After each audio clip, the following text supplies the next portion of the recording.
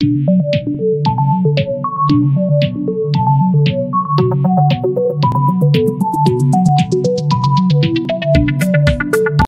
আলাইকুম। BD engineers June YouTube চ্যানেলে আপনাকে স্বাগত জানাচ্ছি। আজকে আমরা মূলত পূর্বের কিছু অঙ্ক করা হয়েছিল না, সেগুলো করব। আমরা চ্যাপ্টার দুয়ের অনেকগুলো অঙ্ক করেছি, কিন্তু কিছু অঙ্ক বাদ দিয়ে গেছিলাম, কারণ এই অঙ্কগুলো অনেকটাই সহজ ছিল। যেটা যে কেউ যে কেউ করতে পারবে। কিন্তু আমরা আমি পরিকল্পনা করেছি যে একটা চ্যাপ্টার সম্পূর্ণভাবে ক্লোজ করব। এই জন্য আমি এই সহজ অঙ্কগুলো ভিডিও আকারে তৈরি করার চিন্তা ভাবনা করেছি। যেন যে কেউ যখন আমার ইউটিউব চ্যানেলে ঢুকবে, সে যেন একটা চ্যাপ্টারের সম্পূর্ণ অঙ্কটায় পেয়ে যায়। এই জন্যই আমার আসলে মূলত এই পরিকল্পনা। তো যাদের প্রয়োজন হবে না বা যাদের কাছে সহজ মনে হবে, তারা হয়তো বা দেখবে না। কিন্তু আশা করি যাদের সমস্যা আছে, তারা অঙ্কগুলো দেখে নেবে।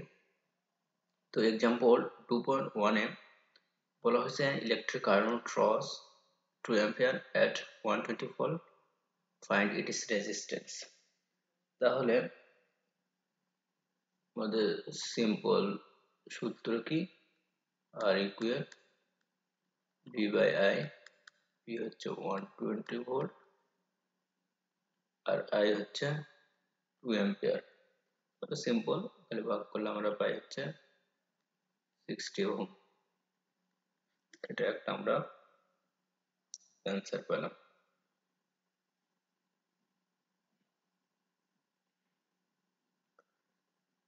Practice problem 2.1 কি বলছে? The essential component of a thruster is an electrical element a resistor that converts electrical energy to heat energy how much current is drawn by a thruster with resistance 15 ohm at 110 volt তাহলে same ভাবে আমাদের এটার সলিউশনটা কি হবে বের করতে বলছে রেজিস্ট্যান্স উইথ রেজিস্ট্যান্স দেওয়া আছে পনেরো রকম তো আছে একশো দশ ভোল্ট।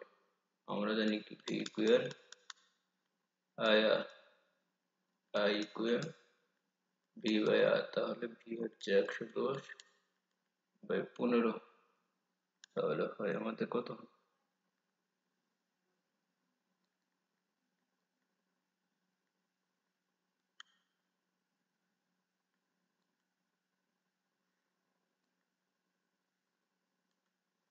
সেভেন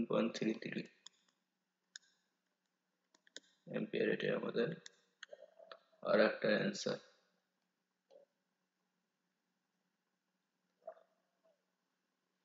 আমরা এখন দেখব এক্সাম্পল টু পয়েন্ট টু এটা একটা সিম্পল অঙ্ক যেখানে একটা ভোল্টেজ সোর্স আছে একটা রেজিস্টার আছে এখন বলছে in the cycle in figure two point eight calculate the current I the conductance G and the power P তাহলে আমাদের এখানে গিভেন ডাটাতে কি আছে গিভেন ডাটাতে আমাদের ভোল্টেজ আছে তিরিশ ভোল্ট রেজিস্ট্যান্স আছে আমাদের ফাইভ কে তাহলে আমাদের বের করতে বলছে হচ্ছে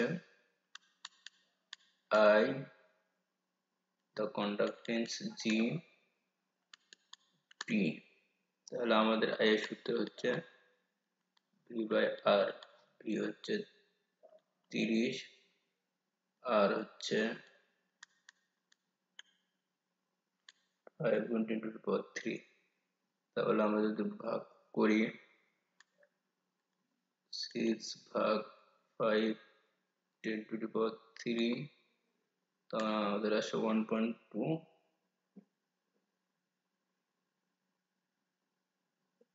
sorry it is 6 not 30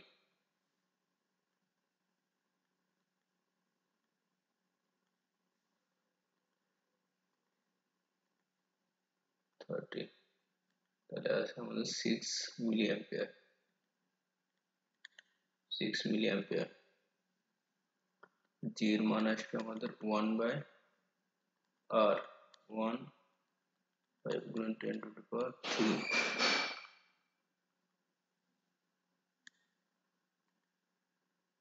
ভাগ five ten to to power three তাহলে আছে আমাদের zero point two millisecond zero point two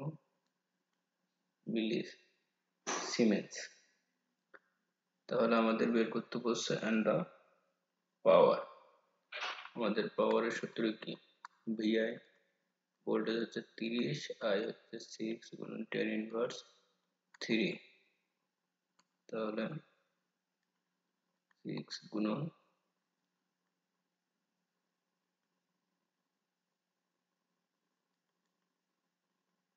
thirty গুণন সিক্স এক্সপি মাইনাস থ্রি তাহলে আসে কত?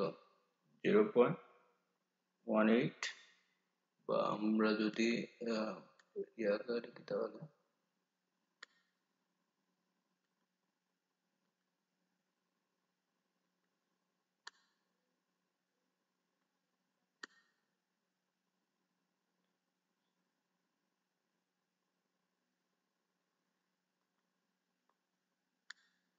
zero point one eight watt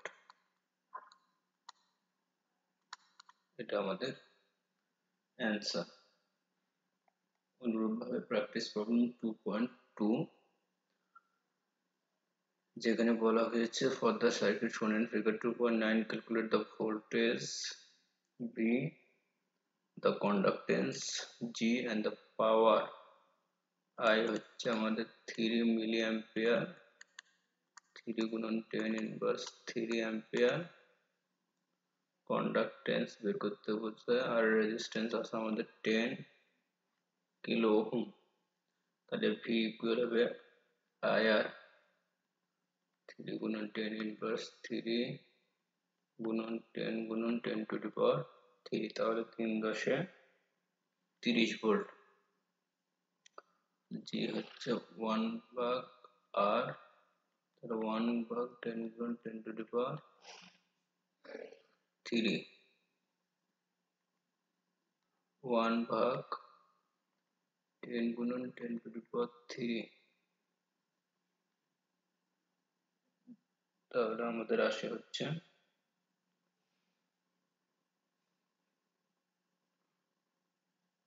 one গুণন টেন ইনভার্স ফোর বা আমরা যদি জিরো পয়েন্ট ওয়ান মিলিও লিখতে পারি।